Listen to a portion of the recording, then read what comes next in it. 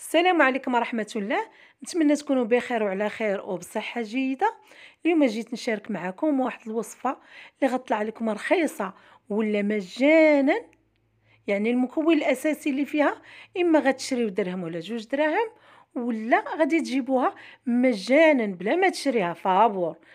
هاد الوصفة المكون اللي فيها الأساسي هو اليازير. اليازير مزيان لا بالنسبة للفروة ديال الرأس لا بالنسبة للبشرة ديالنا. هنا اليوم غادي نستعملوه كحل للصلع اللي كيكون ماشي الصلع الموروث اللي كيكون وراثي لا وإنما الصلع اللي كيكون السبب ديالو هو التساقط ديال الشعر. وكيبقى الشعر كيخفاف كيخفاف كتبقى دوك الفراغات ديال الرأس كتكسر كتكسر حتى كيوليو الإنسان بحال الأصلع. اليوم غادي يدفعنا هاد العشبة ديال اليازير عشبة كيف ما قلت لكم ديال اليازير إلا أننا هنا غادي نستعملوها تكون يابسة. تقدري إلا كانت عندك خضرة جيبيها وديريها في الشمس حتى كتيبس واستعمليها. هاد اليازير علاش قلت لكم غادي تحصلوا عليه فابور؟ تقدري تجيبيه من الجردة ديالك ولا من الجردة ديال صاحبتك لأن في أغلبية الأحيان كيكون في الجردة ولا من الجرادي ديال الزنقة العموميين راه موجود. هنا غادي نخوض طحان الكهربائي ولا مهراز ولا اللي عندك ماشي مشكل. مهم بغينا هاد اليازير نطحنوه. أنا غنديرو هكذا في في هاد الطحانة كما عودتكم دائما وغادي نطحنو مزيان مزيان مزيان. بقاي طحنيه حتى يتطحن مزيان. هو راه ديك القشرة اللي كتكون عنده الفوق ودوك الجذوره اللي كيكونوا لاصقين في العود ديالهم ما كي ما كيطحنوش. يعني ولو غادي نبقى أنا نطحن فيهم مزيان راه ما ضروري ما خاصك تغربليه. ضروري ما تغربليه. إلا أننا ما غرميو حتى شي حاجة. غادي نستعملو الأجزاء بجوج اللي مغربل واللي شاط. أنا هنا من بعد ما طحنته مزيان غادي نوريه لكم كيفاش غادي يكون. غادي يكون حرش. ماشي نيل شفتو؟ ولكن غادي نغربلو باش نستعمل لأن هاد الوصفة اللي قلت لكم غادي تحيد لكم إن شاء الله. بإذن الله غادي تحيد لكم داك, داك الشعر اللي غادي يكون خفيف بزاف. غادي تحيد لكم هذاك الصلع أو هذاك الشعر اللي قليل وكتحارب لنا حتى القشرة.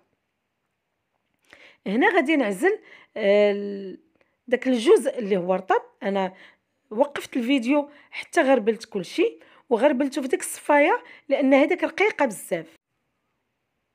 ما غادي نرمي حتى شي حاجة. غنستعمل هاد المكون هاد اليازير اللي هو رطب وكذلك هذاك اللي غربلته بقى في الصفايه الفوق. المكون الثاني اللي غادي نستعمل هو واحد البيضة بلدية غادي نستعمل ليها الماء بوحدو الأصفر فقط. إلا ما كانش عندك البيض البلدي أنا دابا حاضر عندي البيض البلدي اذا درت بيضة بلدية هي أحسن. إلا ما كانش عندك ديري البيض العادي. وهنا غادي ناخذ ياغورت طبيعي غادي ناخذ منه تقريبا على حسابيه الكمية ديال هاد البيضة كانت متوسطة. غادي ناخذ منه جوج ديال الملاعق كبار. ديال الياغورت طبيعي هاد جوج مكونات غادي نخلطهم هما الأول غادي نخلطهم مزيان. البنات ما تقولوش لي قلتي لنا غير اليازير بوحديتو.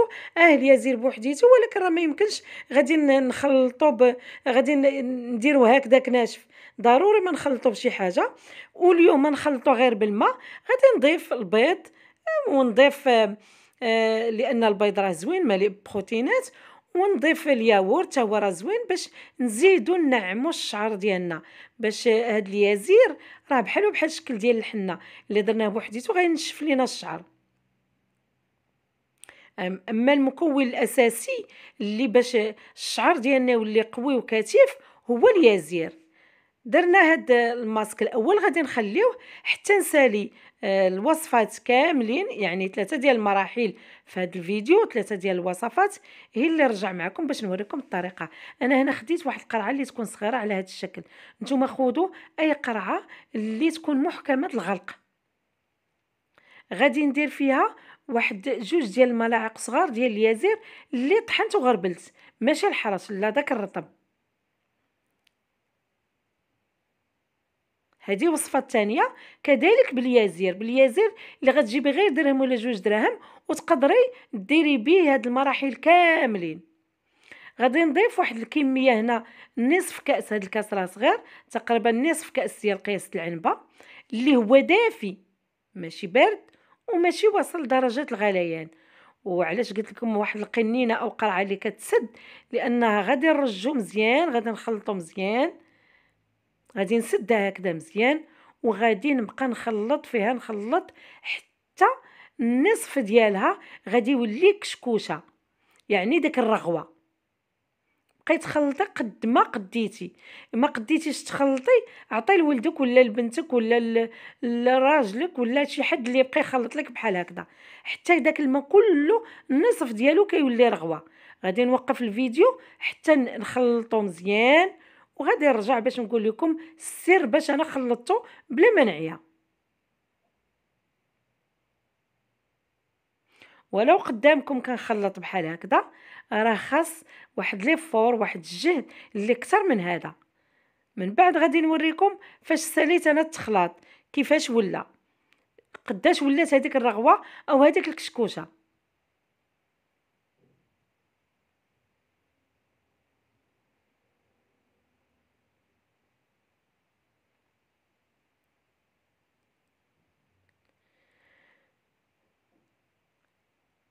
الطريقة اللي درت أنا باش ولات عندي هاد خديت الكأس الآخر اللي طول من هذا شوية ديال العصير ولات بحال هذا ودرتو فيه ودرتو في الطحانة وخليته كدور مزيان مزيان مزيان مزيان بحال كنطحن كندير شي عصير ولا شي حاجة. حتى داك اليازير طلق لينا هاد الرغوة.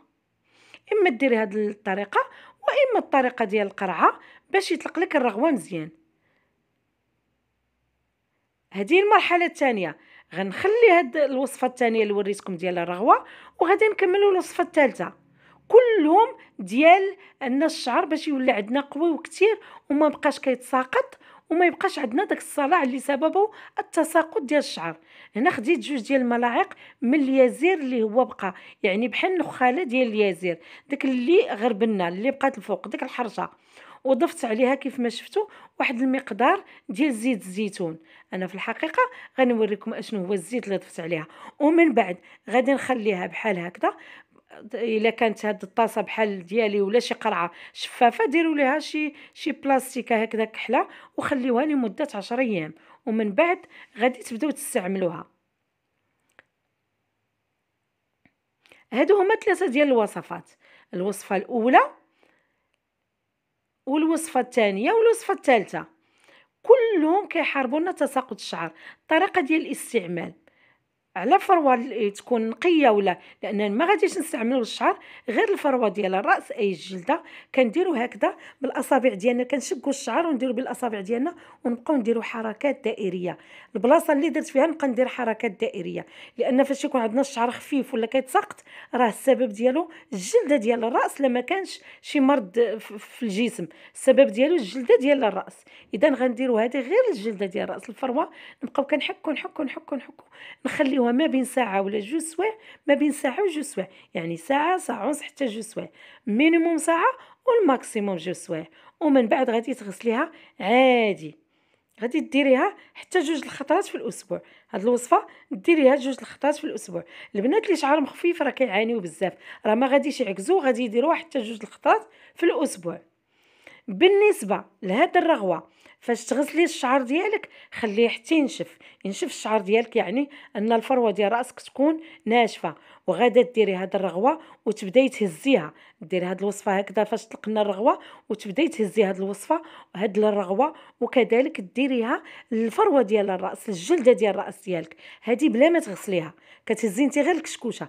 إلا تقادات لك الكشكوشة كتشدي هذاك النيت وتعاودي ترجعيه في الطحان ولا في القريعة وديري الرغوه ثاني بالنسبة لهاد الثالث غادي تخليوه لمدة عشر أيام في مكان مظلم.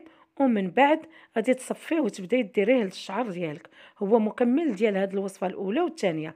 إمتى غدهني؟ فوقاش بغيتي دهني الشعر ديالك؟ دهني الفروة ديال الرأس ودهني الشعر ديالك. وماشي ضروري تغسليه سور بلاص واخا تخليه حتى لمدة يومين ما تكثريش في حقيقة الأمر أنا هنا من خديت هذاك الزيت.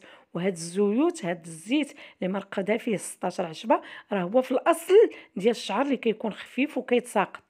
اذا أنا هاد اليازير اللي شاط ليا غادي نضيفو في هاد القريعة وكذلك هاد الوصفة اللي درت معكم غادي نضيفها في هاد القريعة.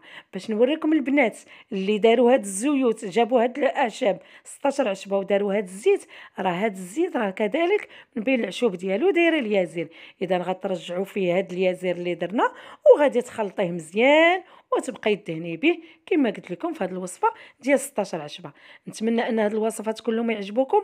ديروهم ديروا لي تعليق زوين ولايك والسلام عليكم ورحمة الله تعالى وبركاته.